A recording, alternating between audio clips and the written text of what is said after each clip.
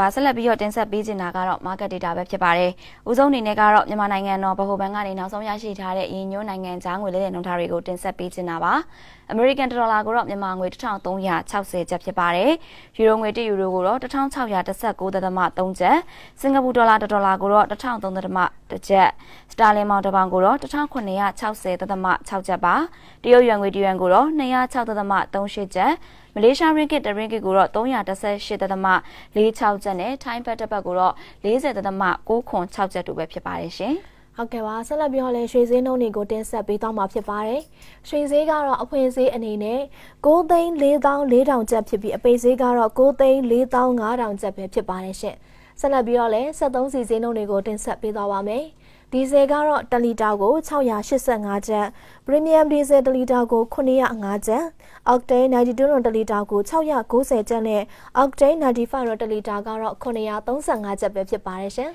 ဟုတ်ကဲ့